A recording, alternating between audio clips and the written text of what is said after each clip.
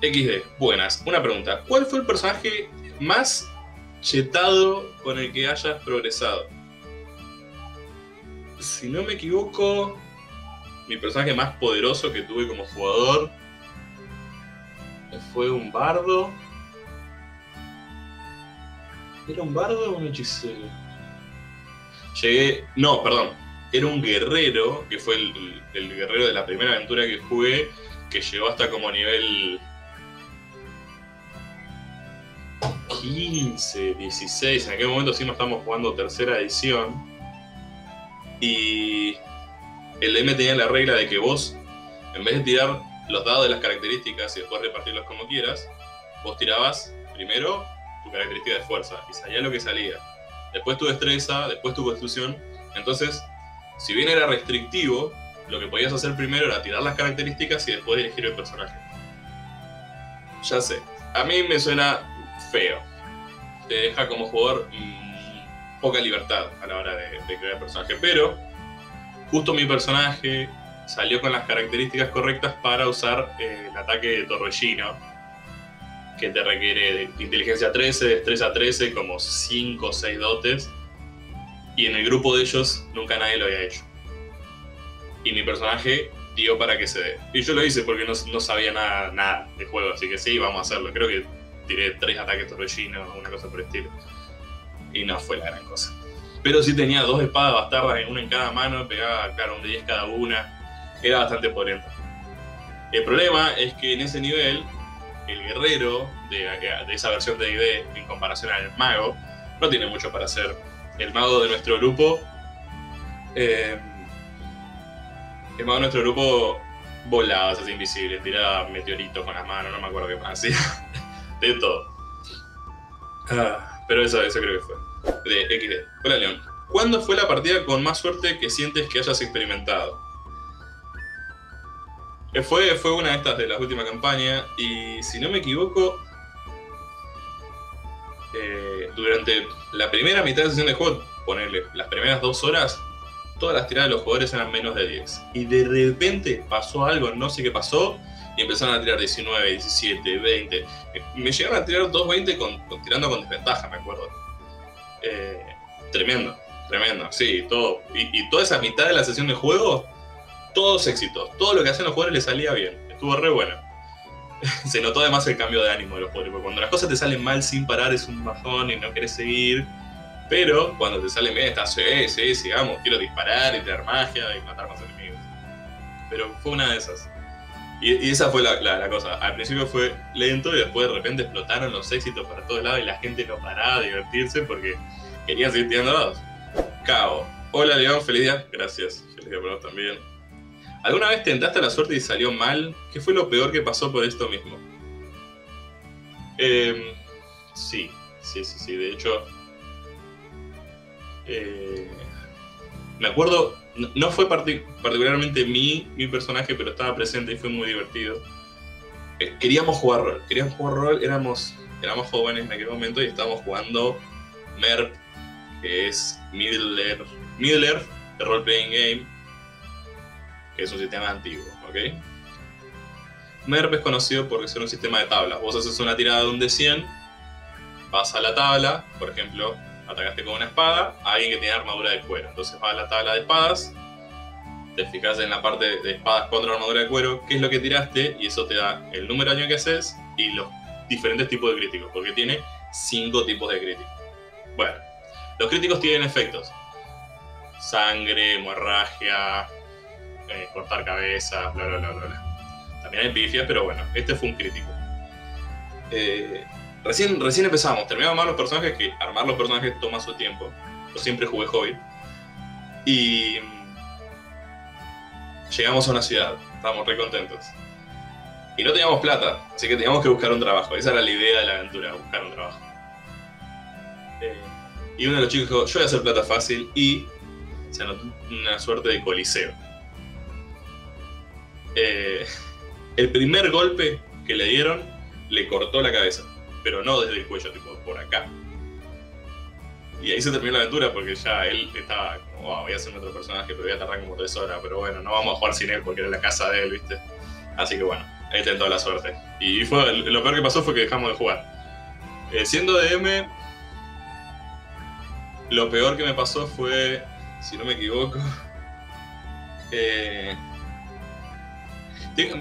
hay, hay, situaciones, por ejemplo, hay un objeto que se llama la baraja de muchas cosas o Deck of Many Things, que es una baraja de cartas que los jugadores pueden ir sacando cartas y las cartas tienen diferentes efectos, depende de lo que, lo que saquen.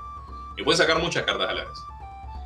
Algunos efectos no son la gran cosa, pero otros son, por ejemplo, que el que le lance cantee deseo. Y con deseo se puede hacer de todo. Entonces me da miedo muchas de esas cosas. Pero intenté la suerte. Eh... Ay, ¿cómo era? Era con un. Mataron a un tipo. Y dije, voy a tirar en esta tabla que encontré no sé dónde el loot. Y la tiro. Y veo el loot. Digo, no, esto, esto es re poco voy a tirar en la otra tabla. Era una aplicación que tenía muchas tablas. De hecho, la recomiendo porque está re buena, pero. Tiro y. Y bueno, listo, salió este. Se lo empiezo a dar y le di un. No me acuerdo qué ítem les di. Que no lo había leído, ni lo había leído. Simplemente leí el título y. Uno de los jugadores dijo, bueno, me lo quedo yo. Listo, dale, sigamos. Sigamos y, me dice, che, ¿qué, ¿qué hace el ítem?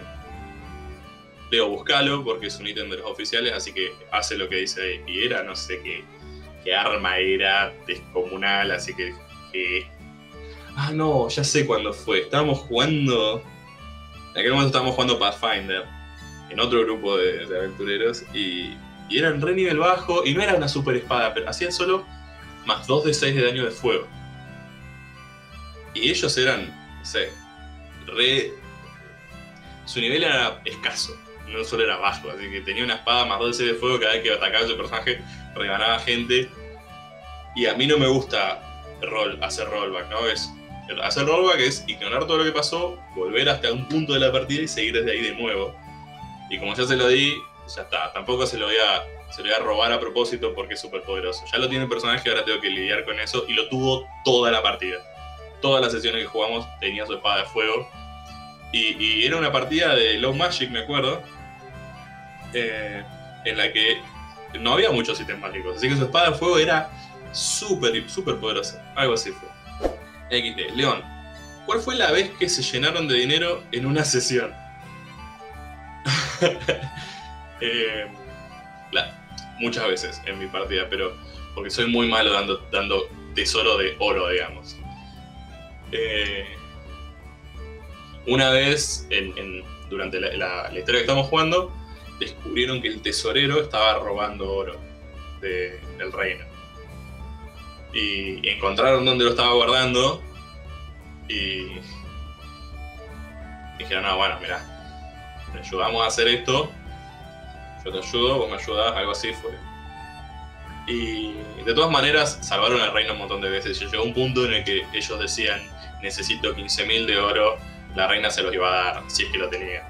Así que se, llenaron los bolsillos. ¿eh? Ah, no, hay otra, sí, hay otra. También en la misma aventura se estaban por ir a otra región. Y. Mm, eh, uno de los chicos. Ah, estaban. Eh, era la última vez que iban a ver a un NPC importante, muy amigos de ellos y también un rey de una ciudad. Y le dice, bueno, pídame lo que quieras. Y uno de los chicos dijo, dame 100 de oro. Y se los dan, al toque. Y el otro chico los mira y dice, dame mil de oro. Y se lo dan. Y ahí el otro lo miró así como, ¿posta?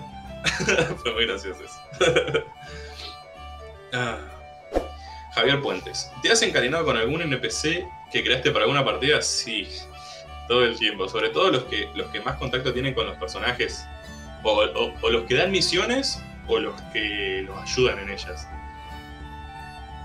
Hay uno ahora mismo que se llama Alwyn que es un ñomito, que era clérigo de Freyr, me parece, sí, sí, clérigo de Freyr.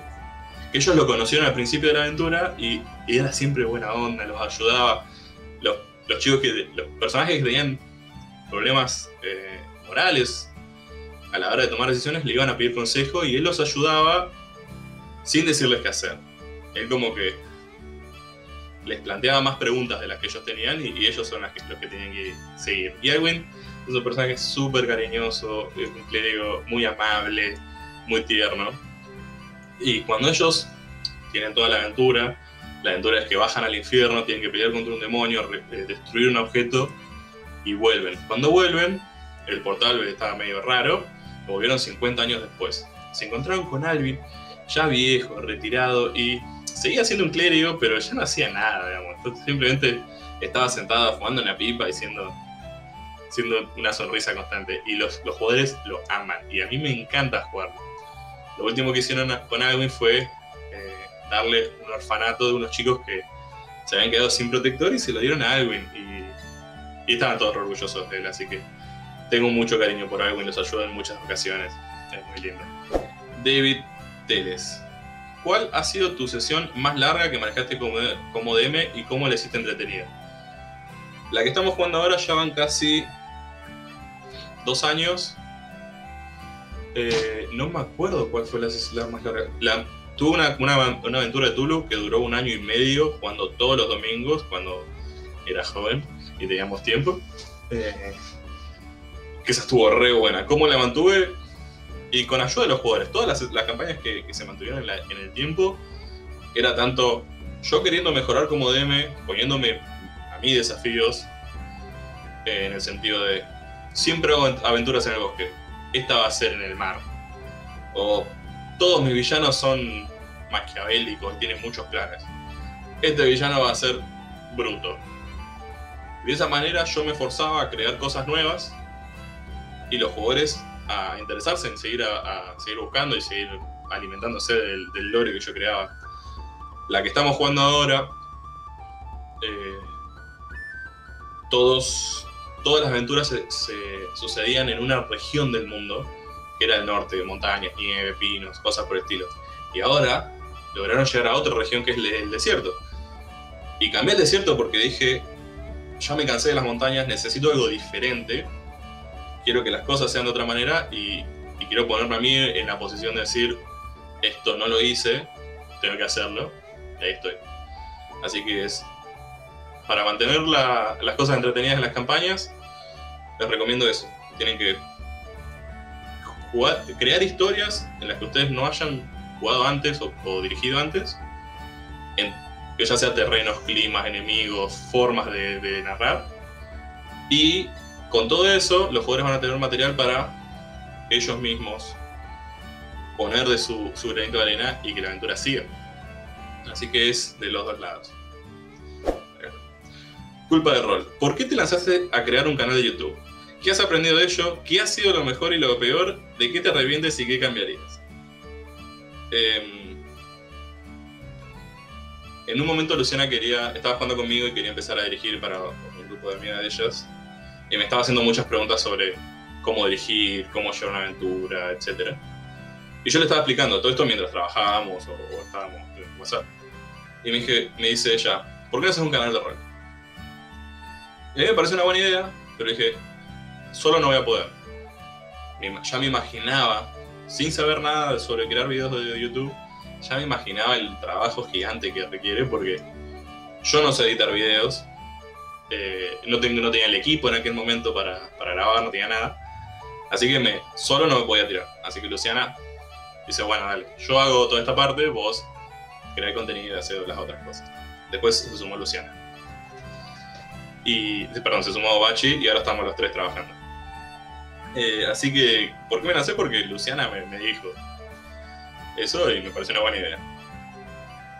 ¿Qué aprendí de esto? Eh, aprendí que hay muchísima gente dispuesta a aprender a jugar rol, interesada en, el material en español sobre todo. Eh, que no hay una gran variedad de canales o de información en español para los diferentes juegos. Hay, hay otros canales de rol, hay otros que están re buenos. Y, de todas maneras me gusta el formato que tenemos nosotros. Eh, lo mejor y lo peor. Lo mejor es de todo, hay, un montón de cosas buenas. Primero, ya estar acá con, un montón de gente charlando de los juegos de rol me encanta, porque me da a mí la posibilidad de, que el rol sea parte de mi vida constantemente y, lo disfruto mucho. Tanto acá como en el Discord con la gente, como en el Instagram, como en el Facebook, en, todas las plataformas, tener una actividad que esté relacionada con los juegos de rol me encanta. Si bien no es jugar rol, es algo que disfruto mucho. Eh, me enseñó también a hablar mejor. Tal vez no se nota mucho ahora, pero en los primeros videos era un desastre. No movía la boca, no modulaba. Tal vez lo entiendan, pero eh, ya lo vamos a hacer. y lo peor Lo peor de tener un canal de rol. Eh, lo peor o que me arrepiento. Me arrepiento por ahí de. ¿De qué me arrepiento? Eh, creo que lo, más flojo que, hice o que hicimos fue algunas organizaciones, algunos sorteos. Las pudimos haber hecho mejor. Pero salieron bien y bueno, les dimos premios a la gente. Eso estuvo genial la verdad, me arrepiento de no haber empezado antes, porque eh, si fuera así, hoy estaríamos tal vez ya streameando partidas o, jugando con la gente y subiendo los videos a YouTube. Eso me di cuenta ya avanzado del canal, como, uy, ¿por qué no? ¿Por qué no arranqué antes?